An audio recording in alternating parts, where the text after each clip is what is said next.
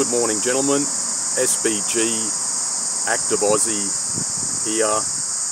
It's about 10 a.m. Wednesday morning. I've just been out to the cafe and then I went to the supermarket and the chemist. I had to buy a few more things. I've been thinking about taking the channel in sort of a different direction heading into 2024 and in the last few days I've watched a couple of videos and it's just the same sort of thing response videos and videos of women throwing a tantrum. And within MGTOW and the Red Pill at least online it just seems to be a lot of guys, a lot of men just regurgitating the same sort of thing over and over again and I really feel that there needs to be a change and we should be discussing certain issues that are pertinent to men and that can really be helpful and useful for men. So in 2024 I'll still be making some so-called MGTOW and red pill content but I'll also be making more videos, more comprehensive videos in regard to nature. I'll be going to different locations. I will do the videos in regard to gardening and prepping. Just haven't felt motivated so much recently to do those, but that's something I really do want to do starting next year.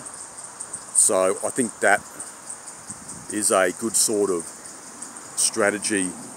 But generally speaking, there is not really much nowadays, not much content that is really useful for men apart from um, all we seem to see is these videos about 304s, body counts, and um, the same sort of female nature content which has been like pumped out into the manosphere over many years. And like I've said before those videos are fine every now and then but now it's just basically a grift. So a lot of the so-called red pill guys are just telling the young men what they want to hear and MGTOW needs to become more comprehensive in nature and especially we need to do some like gatekeeping and keep women out of male spaces. And that can be IRL in real life or in cyberspace on the internet on various types of social media so um, women should just um, mind their own business and keep out of male spaces and stop invading our spaces. So we have to be very careful and vigilant in regard to this I feel.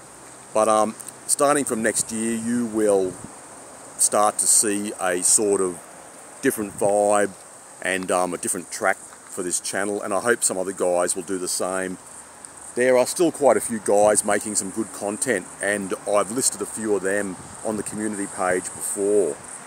But a lot of what's going on within the so-called manosphere now, it's just a lot of um, nonsense and rubbish.